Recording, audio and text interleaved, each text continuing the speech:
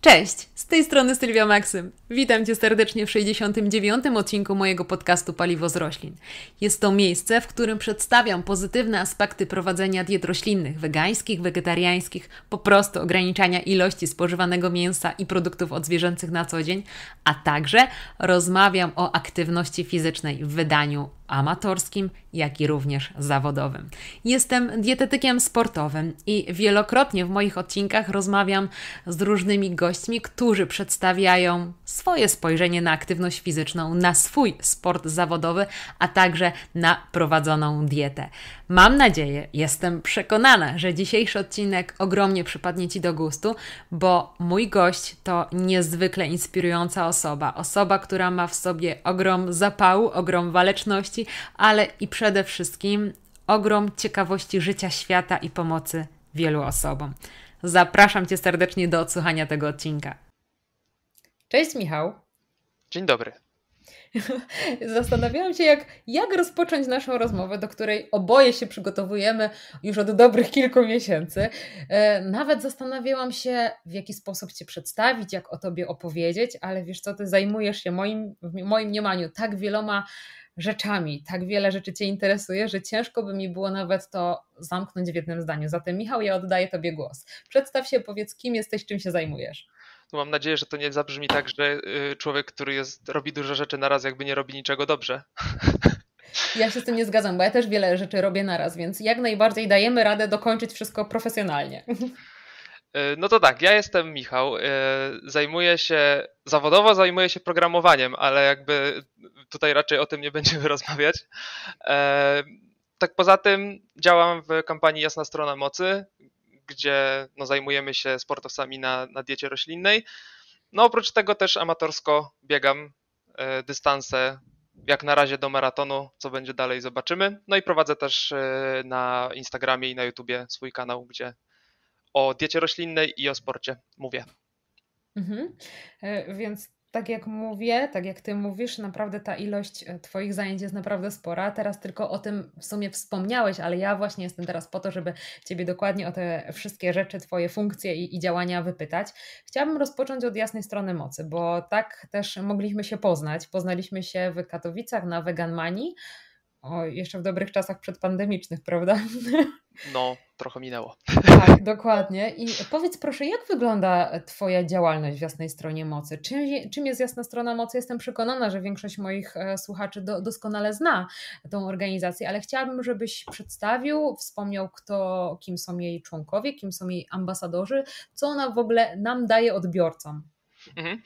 To Jasna Strona Mocy ogólnie jest kampanią taką społeczną, która ma na celu propagowanie diety roślinnej wśród sportowców, a może nawet nie tyle diety roślinnej, co po prostu ograniczania spożycia mięsa. E, no i jako kampania produkujemy po prostu czy to wideo, czy jakieś e, akcje, w których no, promujemy tą dietę mm, i współpracujemy też z, dietyka, z dietetykami i ze sportowcami, którzy na takiej diecie e, są. Do tej pory głównie ambasadorami naszej kampanii byli ludzie na, uprawiający sporty siłowe. Zdecydowana większość to są jednak sportowcy siłowi. E, no ale teraz też troszeczkę chcemy się mm, poszerzyć e, naszą działalność o, o też sporty wytrzymałościowe.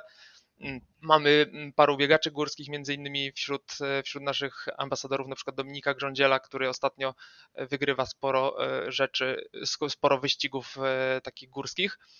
Mm, no i ja jako członek tej, tej kampanii, no głównie zajmuję się właśnie tematem y, związanym gdzieś około biegowo, no bo jednak to jest też coś, co na, na, co, na jaki temat mam najwięcej y, wiedzy. No i oprócz tego ruszyliśmy teraz z naszym kanałem na YouTubie, ruszyliśmy z podcastem, y, mamy też naszego bloga, więc to są takie trzy główne miejsca, gdzie, gdzie ja się udzielam. Mhm. Od kiedy jest w ogóle kampania Jasna Strona Mocy? Huh, to jest trudne pytanie, bo mhm. szczerze mówiąc nawet nie wiem. Ja w niej mhm. działam od y, tak y, bardziej aktywnie działam od ponad pół roku będzie. Mhm. Mm, Ale na, właśnie... pewno, na pewno jest dużo dłużej. Tak, tak, zdecydowanie. Wiesz co, ja e, teraz właśnie jak, jak wspominałeś w ogóle, wiesz, czym sama kampania się zna, zajmuje, e, tak sobie pomyślałam, kurczę, ja mam wrażenie, że oni są od zawsze, nie? Bo, bo jakoś pamiętam te pierwsze e-booki, pamiętam te ilości informacji, które napływały w ogóle do osób, które zajmują się już szeroko rozumianą aktywnością fizyczną połączoną z roślinnym odżywianiem. I naprawdę, tak jak powiedziałeś przed chwilą, mam wrażenie, że oni są od bardzo, bardzo, bardzo dawna. Jesteście, jesteśmy, bo, bo to są też nasze wspólne działania, więc bardzo mnie to cieszy. A powiedz, e, bo być może ktoś byłby zainteresowany, nie wiem, jakąś pomocą dla jasnej strony mocy, e, kto może zostać mm, taką osobą, która e, tworzy również struktury w jasnej stronie mocy, jakimś wolontariuszem, można Wam pomóc jakkolwiek. Mhm. Jeżeli chodzi o dołączenie do, o działanie w jasnej stronie mocy, no mhm. no to jako, że jasna strona mocy jest kampanią otwartych klatek, no to żeby działać w jasnej stronie mocy, najłatwiej dołączyć po prostu do otwartych klatek. Często są spotkania e, w poszczególnych miastach do grupy lokalnej, można dołączyć. No i jak już się dołączy do grupy lokalnej, no to dołączenie do jasnej strony mocy jest już bardzo proste. Mhm. Więc, więc to jest taka najprostsza droga tak naprawdę. Mhm. A jak ty się znalazłeś w jasnej stronie mocy i w otwartych klatkach? E, Od czegoś u, zaczęło? U, u mnie to ogólnie mm, bardzo dużo się musiało wydarzyć, bardzo dużo różnych splotów e, okoliczności, mam wrażenie, e, żebym w ogóle trafił do otwartych klatek najpierw, a potem do jasnej strony mocy, mm, bo no ja na diecie roślinnej jestem od teraz, jakby nie patrzeć, będzie ze 4 lata, 3-4 lata. Mm, I to jest jakby powiązane z tym, że ja trochę eksperymentowałem z dietą parę lat temu ze względów różnych. E, I jak już e, spróbowałem diety roślinnej i bardzo się wkręciłem, zresztą wkręciliśmy razem z żoną, mm, to po jakimś czasie też pomyślałem, że fajnie by było z tym wolnym czasem, którego trochę mam, bo jednak trochę czasu gdzieś tam wolnego mam, e, to żeby ten czas wolny wykorzystać w jakiś sensowny sposób, nie siedząc e, bez sensu przed komputerem, tylko jednak zrobić coś, co może być dobrego dla tego świata, nazwijmy to tak górnolotnie. Mm. Inspirująco. I, I właśnie stwierdziłem, że, że, że dołączę do jakiejś organizacji. Wtedy pomyślałem o organizacjach prozwierzęcych, właśnie jako, że byłem na tej fali, y, że właśnie dieta roślinna u mnie weszła, e, więc e, zgłosiłem się do paru takich organizacji, otwarte klatki się odezwały jako pierwsze, e, więc no nie wiem, co, jakby to wyglądało, gdyby ktoś inny się odezwał jako pierwszy, mhm. nigdy nie wiadomo, ale no otwarte klatki były pierwsze, dołączyłem dosyć szybko, też zacząłem mocno działać nie tylko lokalnie, ale też ogólnopolsko, dlatego że zajmowałem się montażem wideo, więc to był taki skill, który był bardzo potrzebny. E, no i długo właśnie działałem głównie w grupie filmowej. Mm, no i kilka miesięcy temu, jak już e, faktycznie byłem mocno wkręcony w takie sportowe rzeczy, no to stwierdziłem, że no jasna strona mocy to jest chyba jednak to miejsce, gdzie zagrzeję swoje miejsce na, najdłużej, bo po prostu łączy, łączą się tutaj dwie rzeczy, które bardzo mnie interesują, czyli no dieta e, i sport. No mhm. i tak trafiłem do JSM-u. Ekstra, wiesz co, ja zawsze uważam, że nic nie dzieje się bez przyczyny, więc jak to dobrze, że ten mail po prostu tak dobrze funkcjonuje w otwartych klatkach i od razu dali Tobie odpowiedź, więc e, fajnie, że taki, tak, tak wyglądał ten przebieg i jestem też przekonana, że um, to, co się zadziało u Ciebie, będzie też być może inspirujące dla osób, które nas słuchają, bo ja jestem za tym, żebyśmy rzeczywiście, jak mamy trochę więcej wolnego czasu, albo go nie mamy i staramy się jednak coś wygospodarować więcej dla innych, to fajnie naprawdę jest działać dla takiego wspólnego dobra i, i tym bardziej, jeżeli są to organizacje, które pomagają zwierzętom, które też pomagają zrozumieć istotę, ważność, powagę samego dbania o środowisko, planetę, zdrowe odżywianie i nasze zdrowie, to naprawdę jest ogromny krok dla nas wszystkich, więc no szapoba. Michał, po prostu. Zwłaszcza, że dołączenie do takiej organizacji ogólnie jest też o tyle fajne, że można się samemu bardzo dużo nauczyć. Jakby większość umiejętności, które ja używam e, teraz gdzieś w życiu moim pozazawodowym, e, to są umiejętności, które nabyłem bądź podszlifowałem właśnie podczas działań w otwartych klatkach, czy to w JSM-ie, czy, czy w jakiejś innej kampanii wcześniej. No bo mhm. po prostu działa się z ludźmi, którzy jakby działają dla wspólnego celu No i często robi się rzeczy, których nigdy wcześniej się nie robiło i można się po prostu nowych umiejętności, nowe umiejętności nabyć po prostu.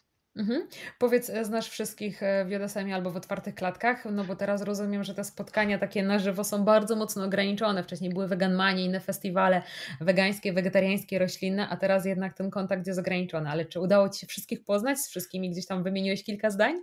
Jeżeli, nie da się? Jeżeli chodzi o ludzi w JSM-ie, to tak. E, jakby też nie jesteśmy bardzo dużą grupą, więc tu akurat jest nam dużo łatwiej e, utrzymać kontakt. No i jakby co tydzień się spotykamy. Mamy, znaczy mamy spotkania online, e, gdzie, gdzie rozmawiamy na temat bieżących zadań, takie typowo organizacyjne rzeczy. No i czasami też mamy takie integracyjne spotkania, ale to, to rzadziej ze względów obecnych, no trudno to zrobić często, plus no jesteśmy z różnych miast, więc to też nie jest takie logistycznie proste. Mhm. Jeżeli chodzi o otwarte klatki, no to tutaj nie ma szans, żebym poznał wszystkich, bo jest nas bardzo dużo, e, licząc wszystkich wolontariuszy. Mhm. E, z grupy tutaj lokalnej wrocławskiej to myślę, że większość poznałem, chociaż ja też przez to, że lokalnie już aż tak bardzo nie działam, no to też nie jestem na bieżąco, szczerze mówiąc, z tym, e, kto dokładnie w grupie lokalnej działa. Mm, no ale z wieloma osobami z innych kampanii też gdzieś na bieżąco mam jakiś kontakt, więc bardzo dużo ludzi poznałem na pewno przy tym działaniu. E, mam, myślę, mogę powiedzieć dzięki temu wielu dobrych przyjaciół e, i, i no na pewno na pewno opłacało się. Nawet z pobudek egoistycznych opłacało się dołączyć. Widzisz, więc wszystko się łączy naprawdę taką bardzo pozytywną stronę, więc, więc fajnie. Ale teraz wracając stricte do Ciebie, zostawiamy mhm. na razie jasną stronę mocy, otwarte klatki. Swoją roślinną przygodę, jak wspomniałeś, rozpocząłeś 4 lata temu. A kiedy zaczęło się e, ta strona sportowa? Kiedy zacząłeś, nie wiem, być może przed bieganiem było coś jeszcze? Muszę Cię teraz wypytać. Y, z tą stroną sportową to ja też miałem sporo przebojów, dlatego że ja jestem synem wefisty y, i w sumie mój dziadek też był wefistą. Wow! E, I przez całe czasy takie, no, podstawówka, gimnazjum, jakby byłem bardzo mocno zachęcany do tego, żeby uprawiać sport. I ja oczywiście bardzo nie chciałem tego robić. E, I, I robiłem wszystko, żeby po prostu tylko nie uprawiać sportu. Mm, dlatego też właśnie te czasy gimnazjalne i trochę liceum, no to jakby spędzałem bardziej przed komputerem niż na świeżym powietrzu. Mhm. Gdzieś tam od czasu do czasu miałem takie, na, nachodziło mnie, że sobie na przykład lubiłem pooglądać tenisa ziemnego, mimo że nigdy w niego nie grałem. E, jakby też nie miałem za bardzo możliwości gdzieś tam lokalnie, żeby sobie w tego tenisa pograć, więc y, moją taką namiastką tenisa był badminton. E, no ale to też było raczej takie tylko pykanie, że tak powiem, e, w tego badmintona, mimo że gdzieś tam na, w liceum się otarłem o jakieś zawody badmintona, ale no to, to było bardzo po prostu chyba przez brak chętnych bardziej niż przez faktyczne umiejętności. E, potem poszedłem na studia. Na studiach miałem taki plan, żeby jednak coś się poruszać, bo no tak, miałem taką pierwszą myśl, że jednak e, wypadałoby troszeczkę. No i miałem pierwsze podejście do biegania. No bo to najprostsze, co można zrobić. W sumie nie trzeba mieć ani jakiegoś wyrafinowanego sprzętu, po prostu ubiera się buty i się leci. E, po pół roku mi przeszło, e, gdzie doszedłem do niesamowitego dystansu 5 km. Dla mnie wtedy to było coś niesamowitego po prostu. Mm, no ale potem miałem dużo problemów, y, czy to zdrowotnych, czy to miałem też, po prostu mi się nie chciało na początku, potem mhm. miałem problemy zdrowotne. E, no i tak naprawdę ostatnie też około 4 lata to były kolejne próby powrotu do jakiejś aktywności sportowej. Gdzieś w międzyczasie grałem trochę w squasha czy w tenisa, już faktycznie w końcu udało mi się pograć w tego tenisa. E, no ale to raczej tak na, na zasadzie, że ze znajomymi sobie szliśmy coś tam poodbijać trochę. Mm, no i to bieganie miałem kolejne dwie próby, mniej więcej rok do roku.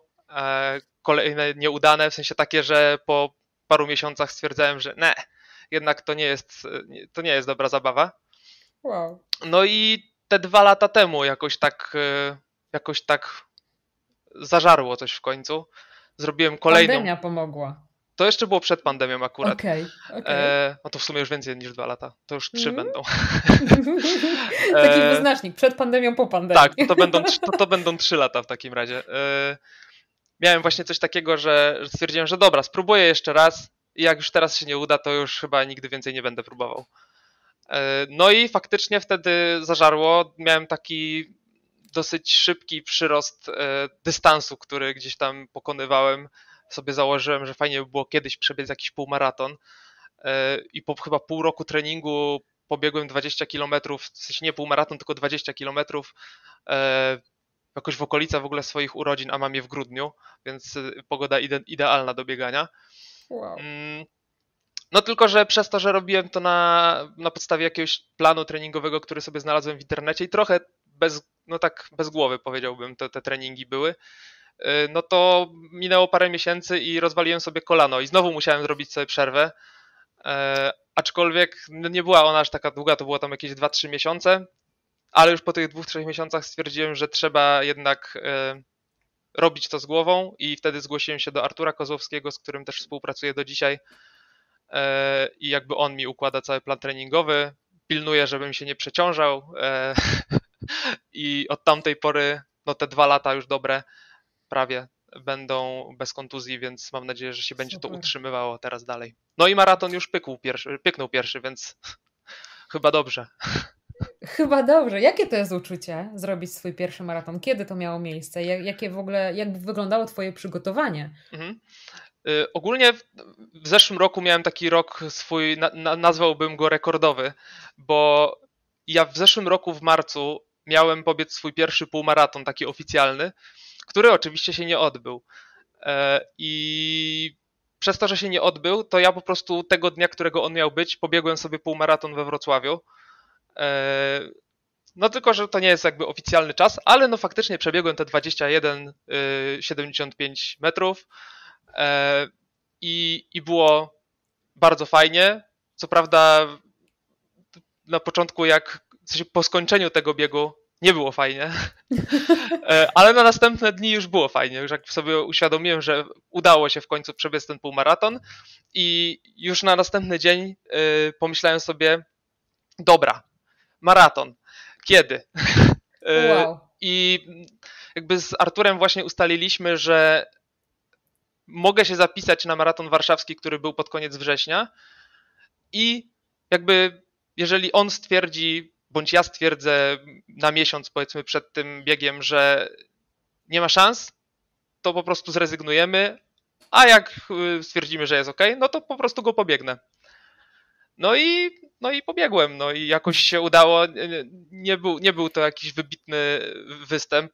Na pewno myślę, że z kolejnym, z każdym kolejnym będzie lepiej, biorąc pod uwagę też, że no ostatnie 10 km to już miałem bardziej marszobiegu niż biegu, bo po prostu troszeczkę chyba żywienie na trasie nie weszło mi tak jak powinno. Mhm. E, więc, więc e, uczucie samo na, na, na koniec tego maratonu na pewno było takie, że po pierwsze radość, że to już koniec. E, po drugie, radość, że się udało i że jestem, mimo że nikt w to nie wierzył, pierwszą osobą w rodzinie, która przebiegła maraton. No proszę, rodzina WF-istów, a tu proszę. Tak, Ten e... stronił od aktywności No właśnie.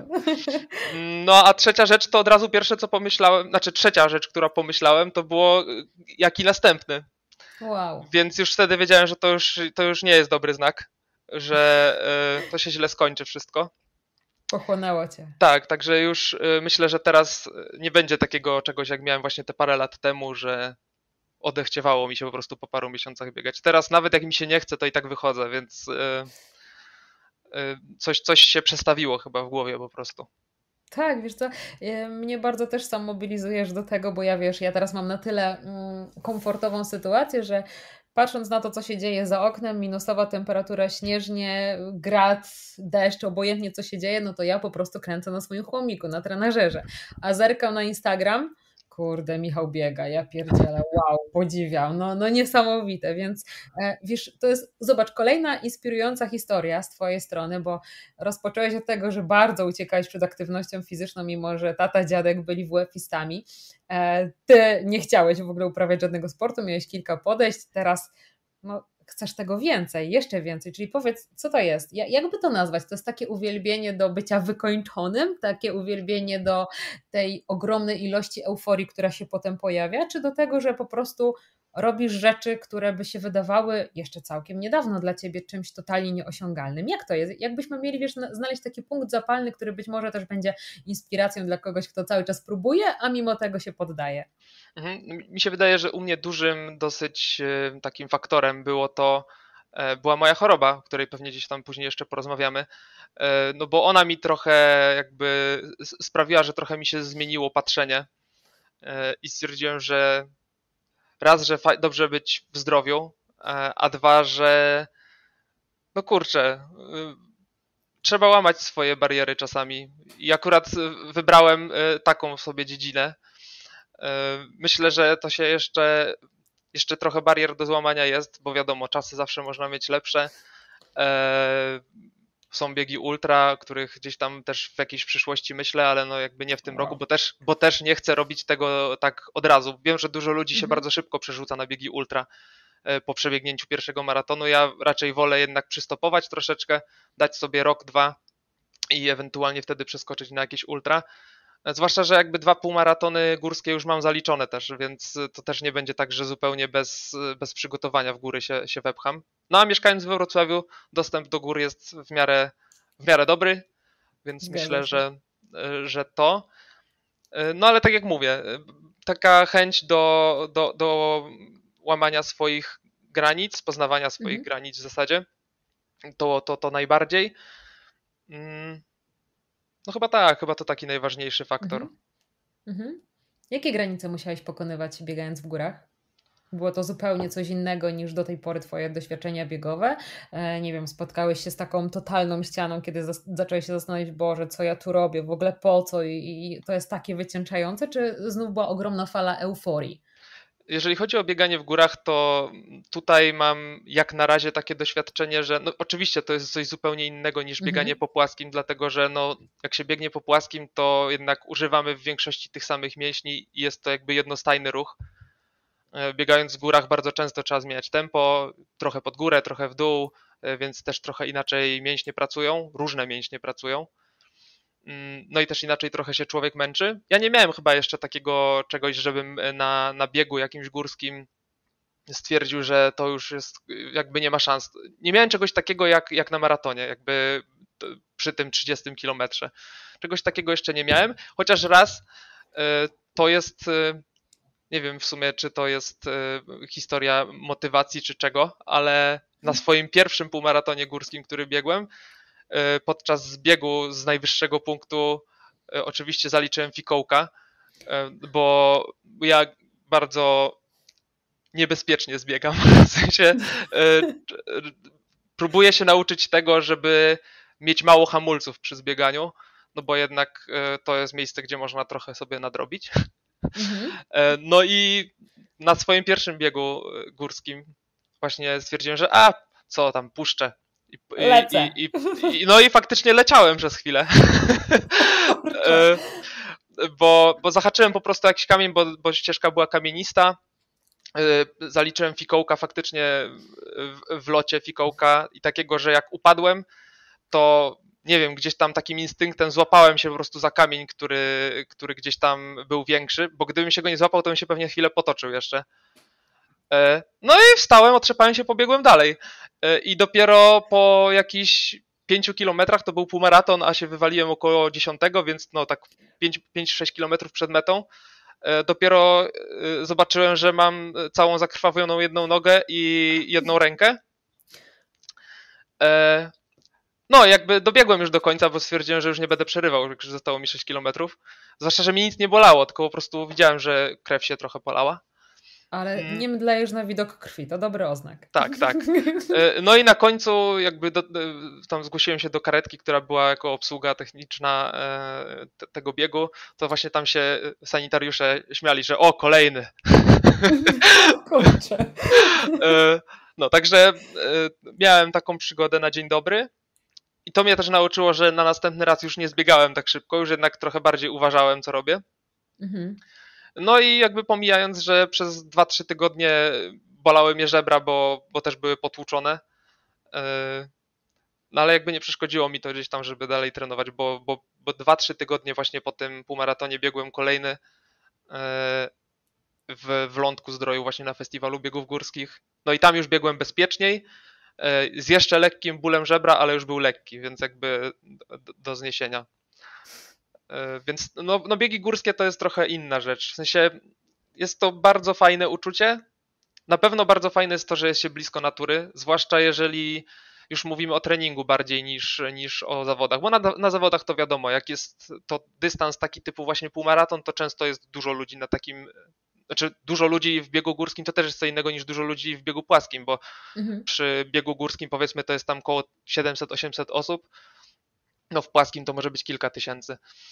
Mm, no to jednak się tych ludzi gdzieś tam spotyka, ale w trakcie treningów, no to biegnie się ładnie przez ścieżki po szlakach, mhm, cisza, mhm. spokój, e, ewentualnie gdzieś tam jakieś czasami zwierzęta, także bardzo, bardzo fajne.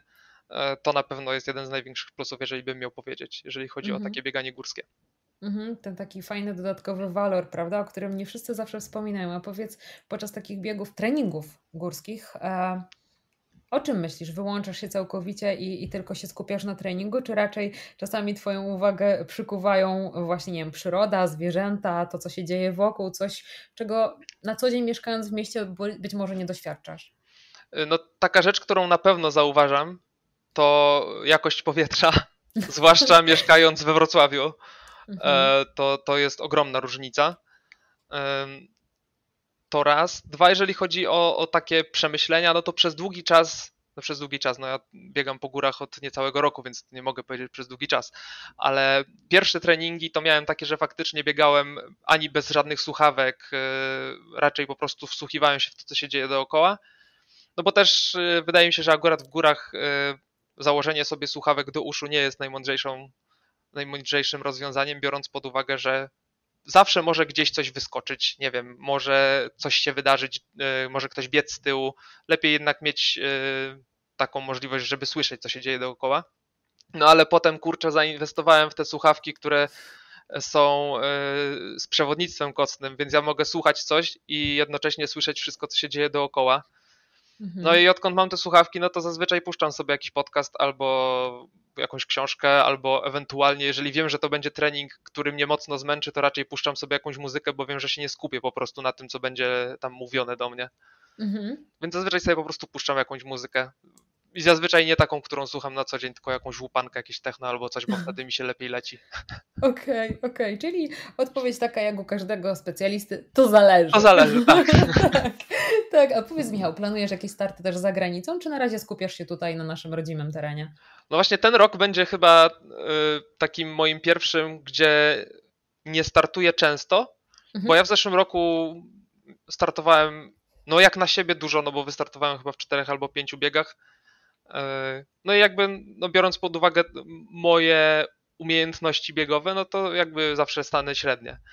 E, ale w tym roku stwierdziłem, znaczy to już było pod koniec zeszłego roku, że w sumie jak już chcę biegać jakieś biegi dłuższe, to fajnie by było to połączyć z turystyką jakąś, żeby jednak no nie biegać sobie maratonów, nie wiem, Wrocław, Warszawa, Poznań, bo jakby byłem w tych miastach, wiem jak one wyglądają, E, i nie jest tak, dla mnie to nie jest jakaś super atrakcja przebiec sobie środkiem Wrocławia, bo jakby często tam jestem.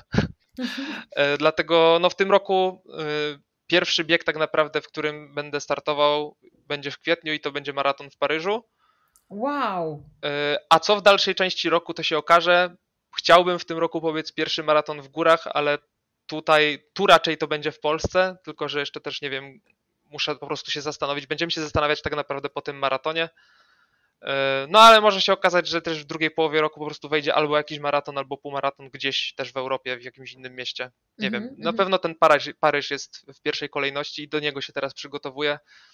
E, jestem gotowy już, e, mam hotel, samolot, wszystko już jest, tylko teraz jest jedna rzecz najważniejsza, żeby nam tego wszystkiego nie zamknęli. Otóż to, otóż to, więc mocno trzymam kciuki, bo wiem, że na te rzeczy, na które masz sam wpływ, ty i twój trener, to na pewno będą bardzo dobrze zaspokojone i zaopiekowane, więc trzymam kciuki za to, na co no, my wpływu bezpośrednio nie mamy. E, Michał, opowiedziałeś mega fajną, inspirującą historię o, o sporcie, powiedz proszę to teraz, jak wyglądały twoje początki z tą dietą?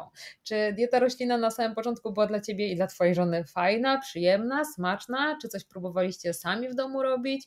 Czy od razu korzystaliście, nie wiem, z restauracji? Czy to tofu przysłowiowe było obrzydliwą chusteczką, jak u większości osób i nie dało się w ogóle tego zjeść i trzeba oczywiście korzystać z innych rozwiązań? Jak to było u Ciebie?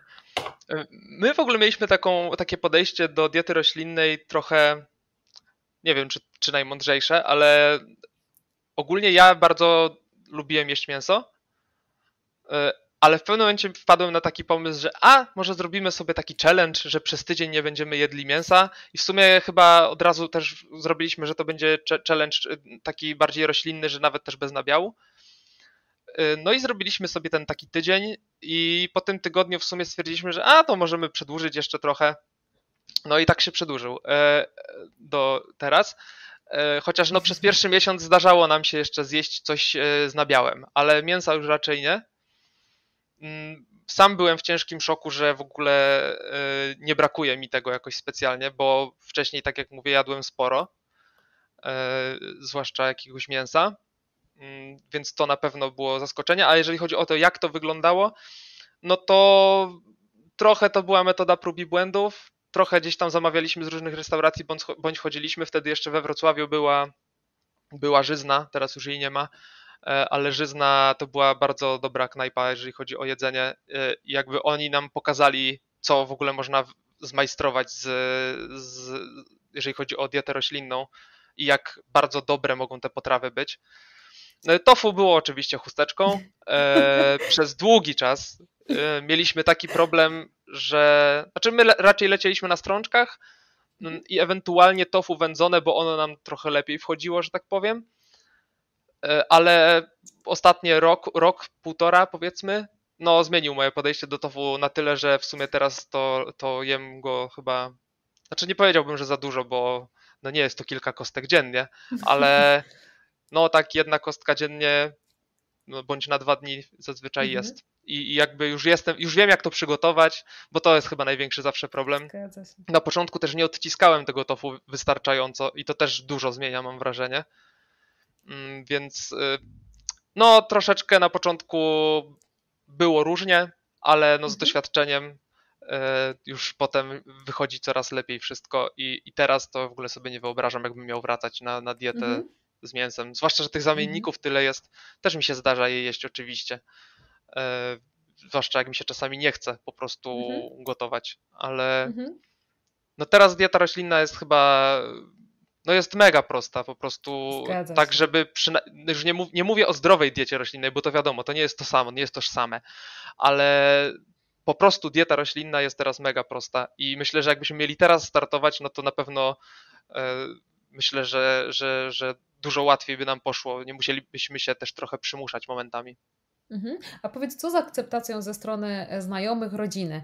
Czy nie wiem, twój tata na przykład, jako osoba, która e, zapewne była i jest aktywna, miał takie, wiesz, trochę wam za złe, no dlaczego nie jecie mięsa? Przecież mięso to siła, mężczyzna powinien jeść mięso. Były takie stereotypy powielane podczas spotkań rodzinnych, czy niekoniecznie? Y, jeżeli chodzi o ogólnie podczas spotkań rodzinnych, to zawsze jesteśmy tą, tymi osobami, które wybrzydzają, bo E, nie jedzą mięsa i nabiału, e, więc to jakby nadal trwa. Ja zazwyczaj jak jeżdżę do domu swojego rodzinnego, to po prostu zazwyczaj sobie robię tam sam jedzenie, bo znaczy moja mama gdzieś tam czasami próbuje coś, coś robić, e, ale jakby większość rzeczy raczej sobie gdzieś tam sam, sam przygotowuję jak jeździmy do, do rodziny od strony mojej żony, no to tam babcie się bardzo zaangażowały i zawsze kombinują i próbują jakieś wegańskie rzeczy przygotować.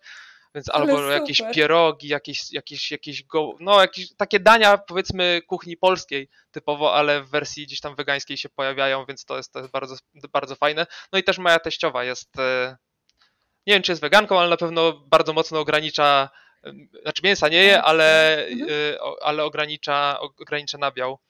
I to też chyba się zaczęło dziać już po tym, jak my przeszliśmy, więc, y, więc jakiś tam wpływ z jednej strony był. No ale mhm. wiadomo, wiadomo jak to jest z rodziną, nie? Y, niektórzy się dają przekonać, niektórzy nie, niektórzy mhm. nie rozumieją. Y, moja siostra też bardzo, bardzo się interesuje tym, co, co, co, co my tam jemy. Jak przyjeżdżamy, to ona też właśnie próbuje gdzieś tam zawsze znaleźć coś takiego, żeby było dla nas ok. E, dziś wow. próbuje też sama to wprowadzać u siebie w domu, no ale jako, że ma e, dwie córki, no to też nie może aż tak bardzo eksperymentować, jak my możemy, no bo my po prostu coś nam przyjdzie do głowy, to sobie to robimy, nie mamy nikogo zależnego od tego. Mhm, zgadza się. Ale fajnie, że też wiesz co, była taka bardzo duża otwartość ze strony e, waszej rodziny, żeby i też pomagać i przede wszystkim nie negować i fajnie, że e, też twoi rodzice nie mają nic przeciwko, jak sobie sam przygotowujesz jedzenie, bo ja wielokrotnie, całe szczęście nie u siebie bezpośrednio, czy nie u Radka, ale wielokrotnie słyszę o tym, ale wydziwiacie, coś wam się poprzedstawiało, po co to, wiesz, już jest coraz mniej tego typu w cudzysłowie akcji, e, bo rzeczywiście one wcześniej były jakieś 5-7 lat temu, kiedy rzeczywiście jedzenie wegańskie, wegetariańskie rośliny było totalnie czymś po prostu frikowym niż teraz, ale, ale mimo, mimo to nadal w wielu domach się zdarza, więc fajnie, że macie też to wsparcie. Mhm. E, ale a propos jeszcze roślinnego żywienia, ty jesteś, mogłabym ciebie nazwać, ja tak bezpośrednio, pozwól, że sobie na to pozwolę, e, takim ogromnym testerem roślinnego żywienia, bo to jak przez pewien czas pokazywałeś relacje z wielu restauracji, knajp, barów, po prostu, wiesz co, wielokrotnie pokazywałeś to zresztą w tych momentach, kiedy ja byłam poza domem i byłam piekielnie głodna, więc mówię, Michał, co ty mi robisz? Więc po pierwsze testowanie wielu fajnych miejsc, no i fajnie, bo dzięki temu, że też pokazywałeś, nie wiem, do których knajp warto się udać, jakie propozycje roślinne wybrać, zresztą też dzięki tobie e, trafiłam do, na fajne śniadanie w Warszawie, więc bardzo bardzo dziękuję za polecenie, e, ale też testujesz różnego rodzaju odżywki wegańskie, prawda? Mógłbyś troszeczkę więcej powiedzieć, co już do tej pory przetestowałeś, co polecasz, co być może odradzasz? Mhm. I właśnie ja troszeczkę tak podszedłem do, do tych zamienników posiłków, bo one się chyba tak oficjalnie nazywają. Mhm, tak. E, jak pierwszy raz e, dowiedziałem się o istnieniu Huela, i wtedy gdzieś tam, no ktoś znajomy miał jakiś tam kod, ja sobie zamówiłem, żeby to spróbować, no bo jakby jest to wygodne, żeby sobie jakiś jeden posiłek w ciągu dnia powiedzmy tym zastąpić, a ja też miałem czasami tak, że rano, e, przez długi czas rano biegałem na czczo, e, potem stwierdziłem, że jednak chciałbym coś sobie przed tym bieganiem zjeść, coś co nie będzie jakieś ciężkie. No i taka, taki napój wydawał się być e, bardzo dobrym rozwiązaniem, no bo to wypiję godzina i w sumie mogę, mogę iść na trening. No i właśnie zaczynałem od Huela, którego no piłem, był całkiem, całkiem smaczny, w sumie drugi raz już nie zamawiałem, dlatego że no jakoś, nie wiem w sumie dlaczego, jakoś tak wyszło po prostu, że, że przestałem go zamawiać. Minął jakiś czas, e, no i zaczęły się pojawiać reklamy różnych takich innych firm, które to robią. No i stwierdziłem, że dobra, to jest, to jest e, mój moment. To ja muszę teraz zamówić, będę zamawiał po kolei, będę sprawdzał. Przy okazji też sobie na YouTube'a wrzucałem właśnie, które jak tam smakują. E, bardziej patrzyłem pod stronę, od strony smaku niż e, faktycznie od tych poszczególnych składników, które się tam znajdowały. Testowałem parę polskich e, alternatyw. Był Supersonic, był już. Mhm. Teraz wyszedł Kosmos, jeszcze go nie testowałem, ale też mam go gdzieś tam na swojej liście. No i zamawiałem też parę zagranicznych. Jest taka firma w Czechach, Mana się nazywa. W Wielkiej Brytanii jest Protein Works i Jake bodajże więc to testowałem. No i z tych wszystkich wiem, że już się śmiałem z tego też podczas nagrywania tych materiałów, że wychodzę na antypolaka tutaj po prostu, bo wyszło mi, że te, te polskie są najgorsze z tych wszystkich. No, no Ale no to jest kwestia, kwestia gustu. No, mi akurat bardziej smakowały tamte, aczkolwiek mhm. jestem świadomy, że e, ten Jake czy Mana smakowały mi bardziej, po prostu miały więcej cukru. E, więc e, tu jakby pod względem składników odżywczych te polskie nie odstają zdecydowanie mhm. od, e, od tych zagranicznych. Powiedziałbym, że w wielu przypadkach są zdrowsze, jeżeli chodzi mhm. o sam ten skład. No ale smakowo dla mnie po prostu nie podchodziły. Słodka manipulacja. Tak, tak. No więc, więc na razie u mnie ta topka to na razie jest ta czeska mana. E, mhm. Zdecydowanie mi to smakowało najbardziej jak po prostu jakbym pił kakao, takie, takie dobre wow. kakao. Okej, okay. a powiedz, e, czy po samej fazie testów została, e, został któryś z tych posiłków płynnych u, u Ciebie w Twoim menu tak na stałe, czy raczej już po, po fazie testów zrezygnowałeś całkowicie z używania? Mm, znaczy ja do, do momentu, jak jeszcze zostało mi parę tych e, specyfików, że tak powiem, do przetestowania, mhm. to, to raczej nie kupuję drugi raz tego samego, bo po prostu chcę przetestować e, te, mhm. które gdzieś tam się pojawiają. E, zwłaszcza, że część z nich też brałem po prostu w takich paczkach, że one były na przykład na miesiąc, więc e, wow. trochę mi schodziło, zwłaszcza, że ja też nie codziennie to piję. Mhm. E, więc taka jedna paczka miesięczna mi starcza czasami na 3-4 miesiące nawet, więc to czasowo przez to się bardzo rozciąga. Mhm. No i na ten moment wydaje mi się, że jak skończę już te wszystkie, jeszcze chyba trzy mi zostały, no to na ten moment wydaje mi się, że Mana będzie u mnie stałym gościem, ale mhm. No zobaczymy, jeszcze trzy są, więc może się okaże, że jednak coś innego. Tak, nie wiadomo, wiesz, co odkryjesz w Paryżu. Być może jak już ruszysz po biegu w miasto i zobaczysz możliwości francuskich producentów żywności, to wiesz, przywiedziesz zupełnie inne smaki ze sobą. No może jakieś bagietki wpłynie albo coś, nie wiem, to wtedy... No, I wegańskie makaroniki. No bym w końcu musiał trafić gdzieś, bo jeszcze nie jadłem nigdy. Właśnie, właśnie, właśnie. E, Michał, e, myśląc też o testach, e, ty też pokazujesz na swoim kanale na YouTube i na drugim profilu na Instagramie, zresztą też będziemy o tych profilach rozmawiać, pokazujesz również Twoje wybory, jeżeli mówimy tutaj o sprzęcie do biegania. Mhm. Powiedz, czy ty, jak wygląda Twoje testowanie? To jest Twoja subiektywna ocena, to jest coś, co polecasz, to jest coś, co sam do tej pory przetestowałeś, czy bazujesz również na poleceniach innych, czy korzystasz na przykład na wsparciu Twojego trenera? Trenera, jeżeli chodzi o dobieranie akcesoriów takich stricte sportowych? Jeżeli chodzi o dobieranie, to raczej y, opieram się tutaj na, na opiniach znajomych osób biegających lub też mam, mam parę kanałów po prostu gdzieś tam na YouTubie czy, mhm. czy jakichś blogów, które wiem, że są ogarnięte pod tym względzie, pod tym względem, y, więc zazwyczaj się na tym opieram, jeżeli chodzi o samo kupno. No a potem, jeżeli już sam to testuję, no to jakby nie mam też takiego doświadczenia z tym sprzętem. No jakby paru butów nie mam setek, tylko jak na razie mam kilka dopiero za sobą.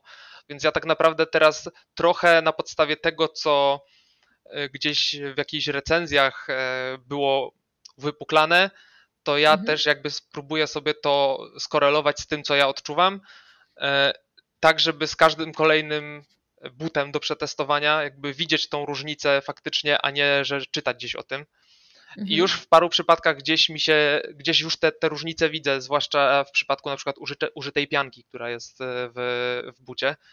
Więc mhm. wydaje mi się, że z czasem to na pewno będzie coraz bardziej takie dokładne i coraz więcej będę mógł na ten temat powiedzieć, zwłaszcza, że ja też się tym tematem zainteresowałem na tyle, że po prostu trochę sobie czytam o tych takich technikaliach, jeżeli chodzi o, zwłaszcza buty, bo jeżeli chodzi o o, nie wiem, spodenki, koszulki, no to tam jakiejś dużej filozofii nie ma tak naprawdę dla takiego biegacza amatora. E, buty to tak naprawdę jest to miejsce, gdzie ewentualnie można coś tam zyskać. No ale to mhm. nadal w przypadku biegacza amatora nie będzie to jakieś nie wiadomo co. Mhm. Właśnie bardzo mi się spodobała, wiesz, ta Twoja taka wnikliwość w docieraniu do konkretnych informacji i też taka łatwość w ich przekazywaniu, przedstawianiu Twoich wyborów.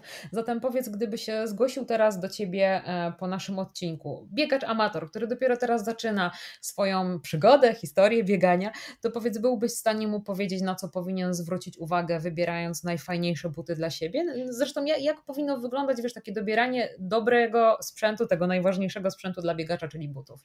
Mhm to mi się wydaje, że takie naj, najważniejsze rzeczy to po pierwsze, czy to będą nasze jedyne buty do biegania. Okay. E, no bo jeżeli ktoś ma tak zwaną rotację, czyli ileś e, butów e, do biegania, no to tam można wtedy kombinować, że na przykład będę miał buty, które mają mniej amortyzacji, ale będą się bardziej nadawały na szybkie treningi. Z kolei na długie wybiegania kupię sobie buty, które będą miały po prostu tej pianki tyle, że będzie się w nich biegło jak po poduszce. Mm, z kolei, jeżeli osoba będzie miała tylko jedne buty, będzie chciała kupić jedne buty, no to najlepiej właśnie, żeby sobie kupiła buty, które będą bardziej uniwersalne, które będą trochę miały jednak tej amortyzacji, e, ale jednak, żeby też nie były ciężkie, żeby nie dało się w tym zrobić jakichś szybszy, szybszych akcentów. Więc no to jest jedna rzecz, a druga rzecz to jest też waga osoby, która będzie w tych butach biegała, bo im cięższa osoba, tym więcej tej amortyzacji jest potrzebne, żeby po prostu sobie nie zrobić bubu w kolano. Okej, okay, okej, okay. to ważne informacje.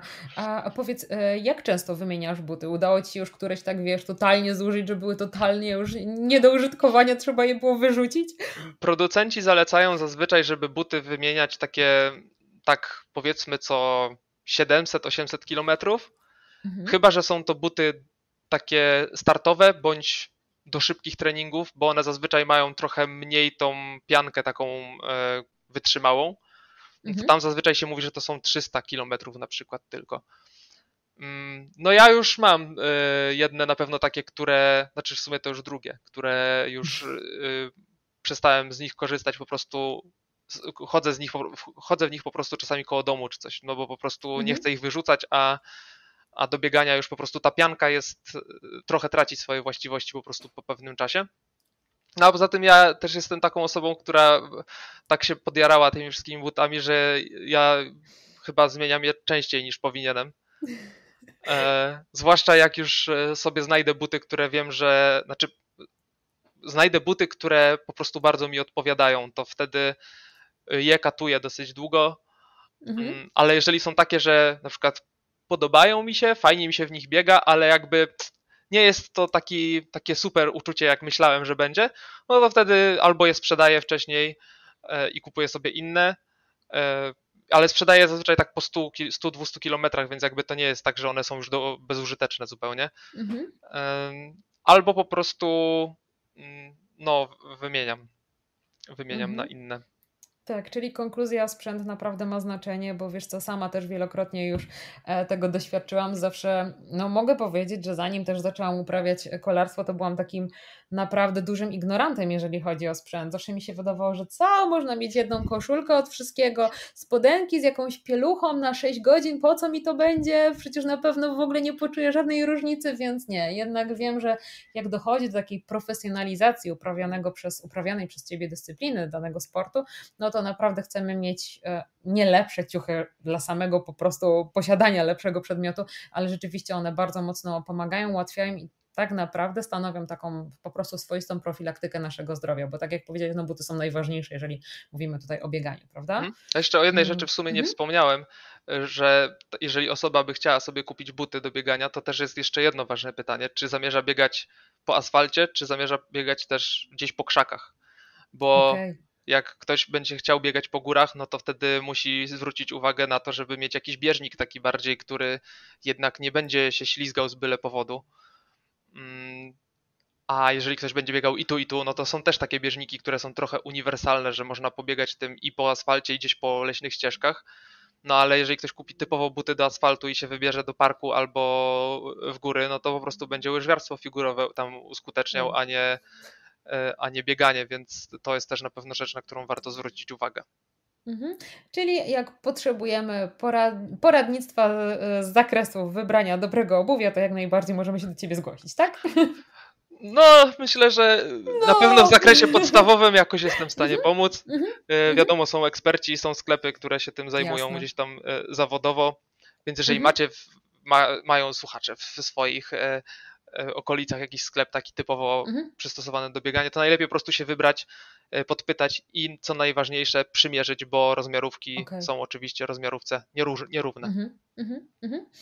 E, kontynuując temat profilaktyki, wspomniałeś kilka razy o tym, że rozpoczęcie przygody ze sportem, wymuszenie większej dbałości o zdrowie troszeczkę pokrzyżowało ci albo cię zmusiło do tego, zmusiły cię do tego twoje historie zdrowotne. Powiedz proszę, mm, jaka to była historia zdrowotna. Ja ją znam, ale chciałabym, żeby nasi słuchacze usłyszeli o tym z Twoich ust, żebyś przedstawił, jak się w ogóle zaczęła historia Twojej choroby. Mhm. Miałem taką sytuację, że w 2014 e, roku no coraz częściej gdzieś tam bolał mnie brzuch. Ogólnie, no głównie miałem problemy takie typowo no, z bólem brzucha.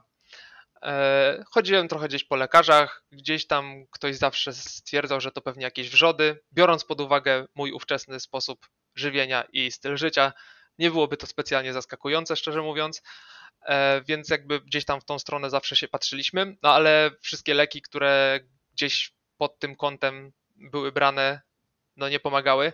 Miałem też robione najlepsze badanie na świecie, czyli gastroskopię e, i tam też jakby nie wychodziło nic takiego, że jednak tam są jakieś wrzody.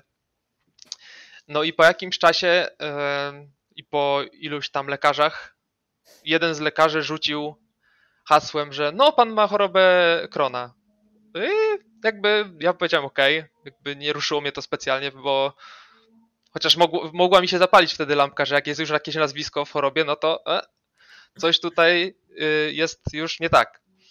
E, no w każdym razie ten, w każdym razie powiedział mi, że właśnie, że podejrzewa chorobę Krona, dał mi tam skierowania na poszczególne badania mm, i ja też wyszedłem od tego lekarza, zadzwoniłem do mojej mamy, żeby, jako że moja mama jest pielęgniarką, no to ona tam te tematy jakoś medyczne w miarę ogarnia. Zadzwoniłem, powiedziałem, co mi, że, że właśnie lekarz stwierdził, że to może być choroba Krona i tylko usłyszałem po drugiej stronie takie o Jezus.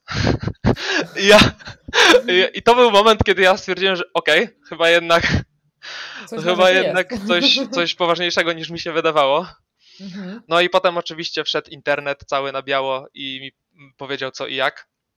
Mhm. E, no i jakby tam się zaczęła cała ta historia już od tych wszystkich badań, które musiałem przejść i każde badanie tak naprawdę już potwierdzało, że tak, to, to raczej będzie to.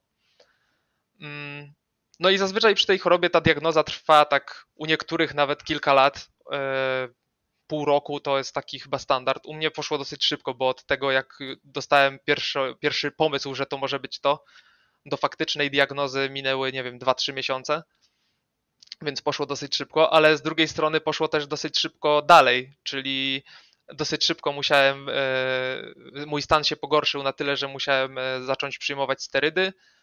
E, potem po tych sterydach na tyle stan mój się szybko pogorszył, że gdzieś zemdlałem na przejściu dla pieszych i trafiłem do szpitala. Mm, po czym po kolejnych miesiącach się okazało, że z, z powodu tego stanu zapalnego w jelitach też też nerki coś zaczynają szwankować, mhm. E, więc jakby była taka, e, taki efekt kuli śniegowej tutaj, że coraz bardziej się, tak. się to wszystko mm, pogarszało. Z no jakimi i dolegliwościami się borykałeś? No głównie to był właśnie ból brzucha. Mhm. E, mimo, że przy, przy kronie często są biegunki, to ja akurat tego problemu aż tak bardzo nie miałem, aczkolwiek krew się pojawiała, co jest też no, dość alarmującym, powiedziałbym, objawem. Mm, więc u mnie to był głównie ten taki ból brzucha, ale to był taki tępy, mocny ból brzucha, który po prostu y, nie reagował na żadne paracetamole i inne środki, które miały mnie teoretycznie mm, teoretycznie ten ból złagodzić, zwłaszcza, że przy podejrzeniu tej mojej choroby też było, była mowa, że nie mogę brać żadnych y, tych niesteroidowych leków przeciwzapalnych, bo one po prostu pogarszają sytuację, więc zostawał mi paracetamol. Mm, no i też e, mówiąc o tym, że dosyć szybko u mnie sprawa się potoczyła, no to e, muszę też wspomnieć o tym, że no we wrześniu tego samego roku, to był 2015, też trafiłem do szpitala z wyrostkiem, jak się wtedy wydawało z wyrostkiem, e, bo miałem ten wyrostek wycięty, wyszedłem mm, parę dni później ze szpitala, minęły dwa tygodnie i w tym samym miejscu ten sam ból e, i wycieczka ponowna do szpitala. I jak się okazało, to wyrostek nie wiadomo, czy był do końca problemem, ale problemem na pewno było jelito, które jest już w stanie e, dosyć ciężkim. Jelito cienkie, zwłaszcza część tego jelita, jakby nie całe. Mm, no i tam była podjęta też decyzja o tym, żeby po prostu część tego jelita wyciąć. Mm, no i nie wszystkie osoby chorujące na, na krona jakby kończą z operacją. W większości udaje się jednak, czy może nie większości, ale niby 50% jest tak, że, że udaje się uniknąć operacji w ogóle w całym przebiegu choroby, no a na pewno nie w pierwszym roku. I raczej te leki sterydowe, czy później też te biologiczne, że one jednak gdzieś tam są w stanie rozwój tej choroby zatrzymać. No u mnie poszło szybko, e, już po paru miesiącach właśnie trafiłem na stół, e, pozbyłem się części jelita, akurat e, niefortunnie tej części jelita, która wchłania witaminę B12 i żelazo, także ułatwiłem sobie robotę na przyszłe zabawy z dietą roślinną. Tak. No, ale szczęście w nieszczęściu jakby udało się e, tą operację tak przeprowadzić, że nie musiałem mieć wyłanianej stomii. Więc, e, więc to na pewno dla mnie na plus. No i później przez, mhm. przez takie 2-3 miesiące wracałem do formy, w sensie, no bo jednak to była dosyć duża ingerencja e, w mięśnie i, i ogólnie, no bo miałem całkiem, całkiem spore to nacięcie tam na brzuchu. Mm. No i jak już wróciłem w końcu do formy, zaczynałem coś tam powoli jeść w miarę normalnie. Mm. No i w końcu jak już zacząłem jeść normalnie, to już wiedziałem po czym się czuję lepiej, po czym się czuję gorzej. No ale z czasem też zauważyłem, że jakby kompletnie nie mam żadnych objawów tej choroby już. Więc u mnie udało się to tak zrobić, że po prostu ja mam taką długą remisję przez to, że po prostu nie mam zmian chorobowych, ale z tyłu głowy muszę mieć cały czas, że w każdym momencie może to wrócić.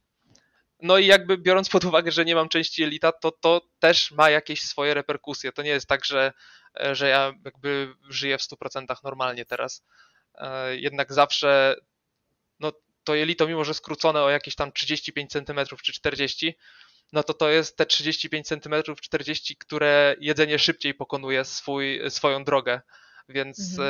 E, więc to też gdzieś tam cały czas muszę z tyłu głowy mieć i to czasami gdzieś tam nadal się odzywa w moich mhm. różnych wyborach dietetycznych. Mhm. Tak, i wiesz co, po pierwsze to dziękuję Ci, bo ja y, zawsze mi się wydaje, że podzielenie się taką historią choroby nie jest łatwe, mimo że Ty e, wspominałeś mi, że nie masz problemu z tym, żeby się dzielić Twoją historią choroby, ale wydaje mi się, że za każdym razem, kiedy o to Cię ktoś pyta, to być może powracają Twoje wspomnienia, które no myślę sobie, że nie były wcale pozytywna i raczej to była ciężka walka, prawda? No, nie było łatwo, nie powiem, jeżeli chodzi mhm. o, o to, jakbym miał wskazać palcem po prostu, w którym momencie swojego życia, jeżeli chodzi o moje zdrowie psychiczne, było najgorzej, no to na pewno mhm. wtedy. Mhm. Mm, chociaż ja też jeszcze w, w, czasie, jak, jak byłem w szpitalu, e, no to spotkałem się z paroma historiami takimi dużo bardziej poważnymi, powiedziałbym, niż moje, nawet w związku z, z tą chorobą, którą ja mam. Mhm. Mm, I to też tam gdzieś mi y, trochę dało taki, takiego kopa, żeby jak już u mnie się unormuje, to żeby o tym mówić e, i może stworzyć jakby. No ja też na, właśnie na YouTubie zaczynałem od tego, że właśnie opowiadałem o swojej chorobie, dlatego żeby inni ludzie, którzy też się dowiadują, że jest taka choroba w ogóle, e, to żeby mogli y, zobaczyć, że da się z tym jakoś tam normalnie żyć, mimo że czasami jest ciężko. Mhm. No i jakby, to, no mówię, było parę, takich historii w, szpitalu, które, no też nie chciałbym o nich rozmawiać, bo strzelam, że te osoby, których to dotykało tam e, mogłyby sobie tego nie życzyć, no ale, ale jednak e, mam wrażenie, że parę takich historii dużo bardziej mnie uderzyło niż moja własna nic nie dzieje się bez przyczyny znowu, prawda? I chyba sobie wybrałeś jedną z najtrudniejszych teraz dróg dbania o swoje zdrowie, bo e, żyć z taką chorobą e, i uprawiać sporty wytrzymałościowe, będąc jeszcze na diecie roślinnej.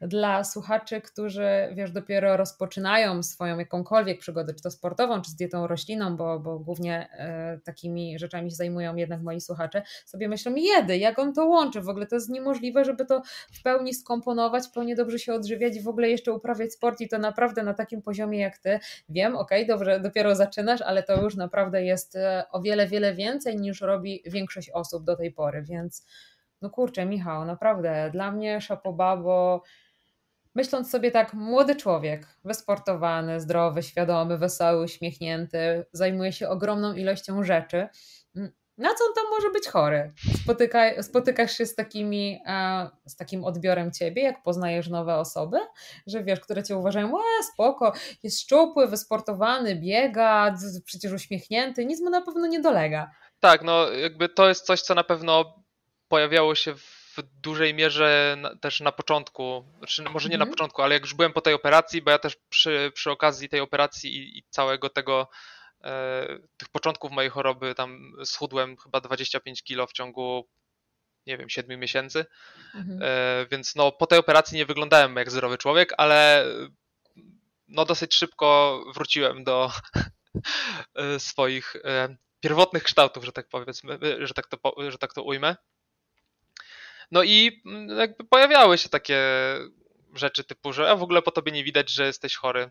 Zresztą ja też mhm. E, właśnie dlatego e, jeden, jeden z materiałów na YouTubie robiłem, że jakich tekstów nie lubią słyszeć osoby chore na, na krona i tam było między innymi właśnie, że e, że nie, nie wyglądasz na chorego, albo że mhm. a weź zjedz co ci szkodzi, jakieś takie typowe rzeczy, które, o których no, ktoś może nie być świadomy po prostu, i, a, a osobę chorą może to dotknąć w pewien sposób. -hmm. Ja się mm -hmm. aż tak może, mnie to aż tak może bardzo nie dotykało, się też uodporniłem dosyć mocno na to.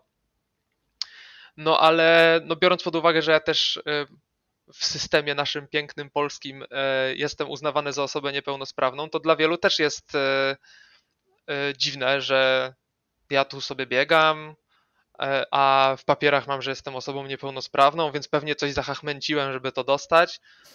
E, no a jakby biorąc pod uwagę, że no, no nie mam części elita, no więc nie jestem osobą pełnosprawną. Więc no, no są takie sytuacje. Mhm. No ale też mhm. staram się tym jakoś specjalnie nie przejmować. Zwłaszcza, że już po, po tych paru latach to już naprawdę nic mnie jest w stanie zaskoczyć chyba.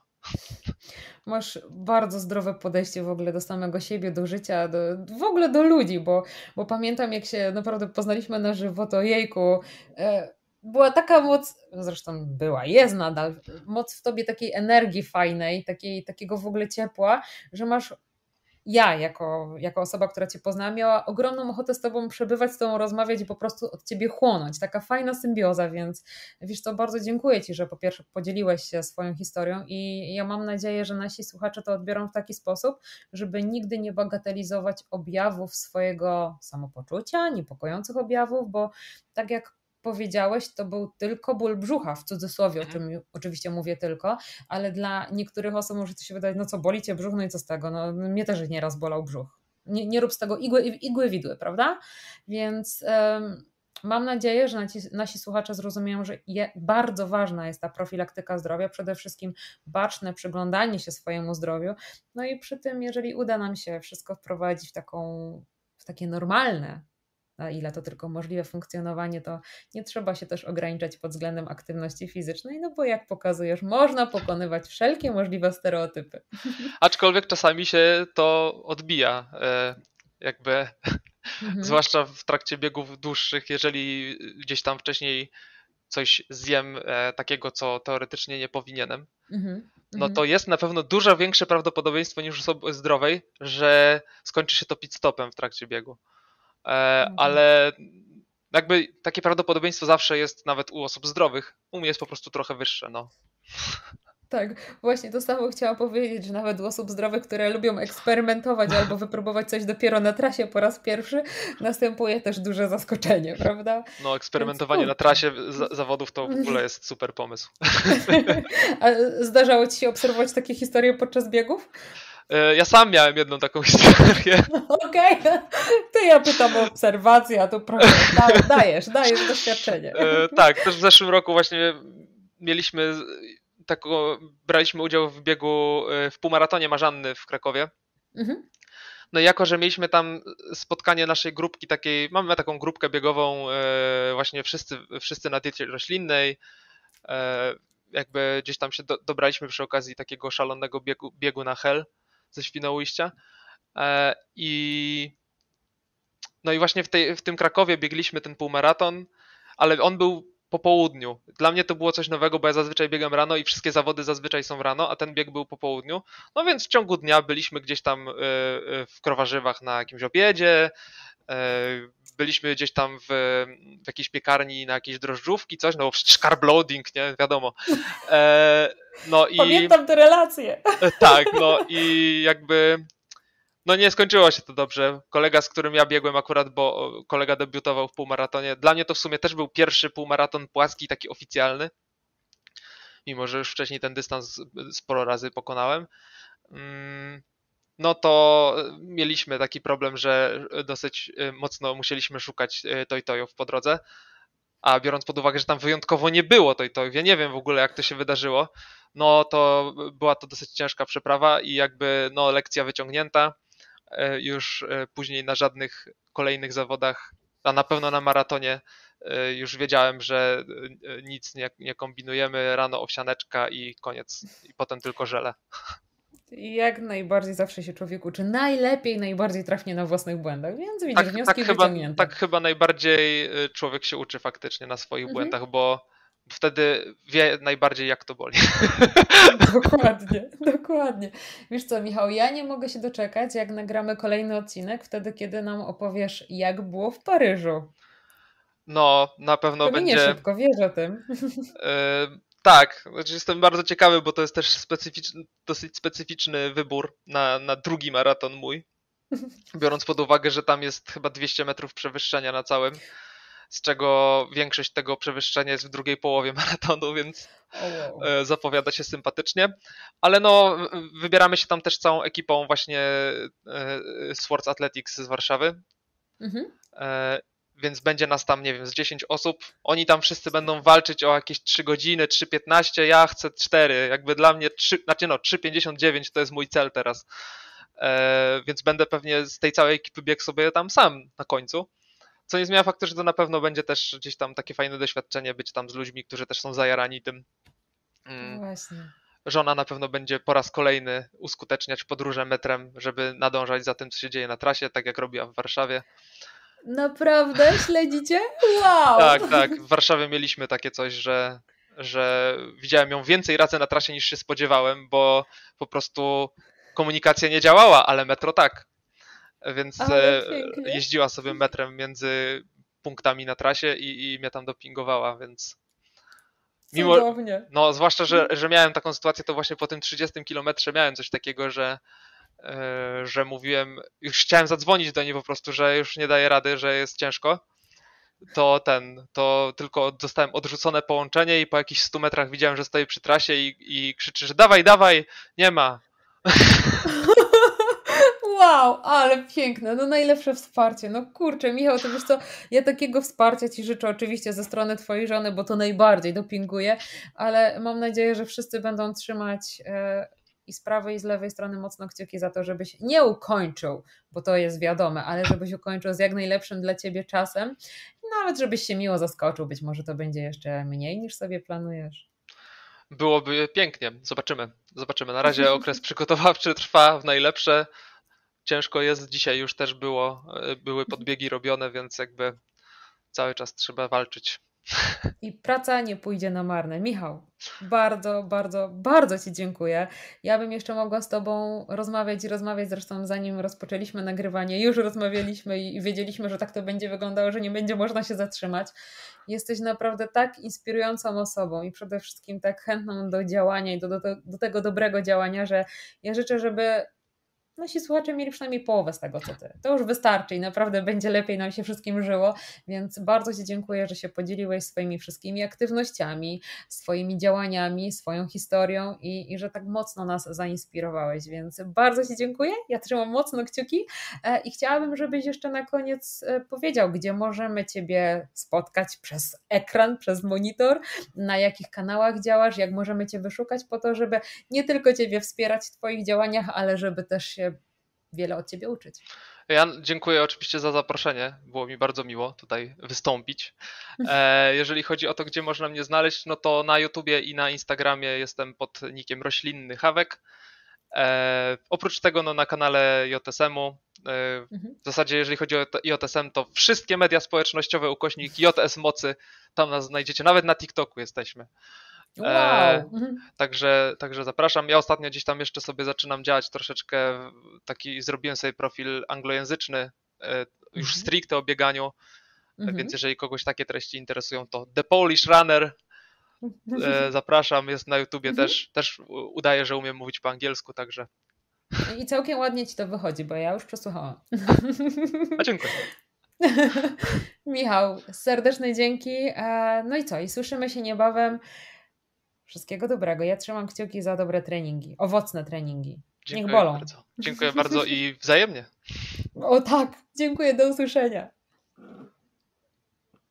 Naprawdę bardzo rzadko słucham odcinków, które już sama nagrałam, gdyż samo nagranie odcinka, jego obrabianie, opublikowanie, opisanie naprawdę zajmuje sporą ilość czasu, zatem nie zawsze mam już czas na to, żeby słuchać swoich odcinków. Zresztą też chcę się rozwijać i też chcę słuchać innych twórców, innych podcastów, ale ten odcinek przesłuchałam z ogromną przyjemnością dwukrotnie. Michał to naprawdę niezwykła osoba, pełna ciepła, pełna dobroci, pomocy, e, nie tylko ze względu na jego działania, które są widoczne w wielu kampaniach, takich jak Jasna Strona Mocy, Jasna Strona Mocy czy Otwarte Klatki, ale w tym, co robi na co dzień, w tym, w jaki sposób dzieli się swoją wiedzą i jak, jakie wsparcie stanowi dla innych. Zatem, Michał, raz jeszcze Ci bardzo dziękuję. Bardzo się cieszę, że zostałeś moim gościem w podcaście Paliwo z roślin i jestem przekonana, że Michał też bardzo mocno Was zainspirował do tego dobrego, skutecznego i przede wszystkim systematycznego działania. Bardzo Was proszę o ocenę tego odcinka, o subskrypcję mojego kanału na Apple Podcast, na YouTube, na Spotify. Będzie mi bardzo miło, jeżeli będę mogła trafić jeszcze do większej liczby osób i tym samym owoce mojej pracy będą jeszcze większe, więc proszę Was o wsparcie, proszę Was o kciuki w górę, o serduszka, no i oczywiście też również o tą konstruktywną krytykę, która na pewno też poprawi jakość moich odcinków i materiałów, które publikuję w sieci. Serdecznie zapraszam Was na wszystkie strony, o których powiedział Michał, których, na których możecie e, jego spotkać, a także serdecznie zapraszam Was na mój Instagram, na mojego Facebooka i na moją stronę internetową sylwiamaxem.pl. Wszędzie indziej znajdziecie mnie jako Sylwia Maksym, paliwo z roślin. Mam nadzieję, że treści, które publikują które publikuję, będą idealnie odzwierciedlały Wasze potrzeby. Odcinki publikowane są co tydzień, co tydzień w czwartek, więc jeżeli zasubskrybujecie mój kanał, to zawsze informacja o nowym odcinku trafi do Was jak najszybciej. Serdecznie dziękuję za wysłuchanie dzisiejszego 69 odcinka podcastu Paliwo z roślin, a my słyszymy się już za tydzień. Wszystkiego dobrego, dużo zdrowia i dużo uśmiechu, no i oczywiście owocnych treningów w trakcie sezonu przygotowawczego. Wszystkiego dobrego. Sylwia Maksym, Paliwo z roślin. Pa, pa!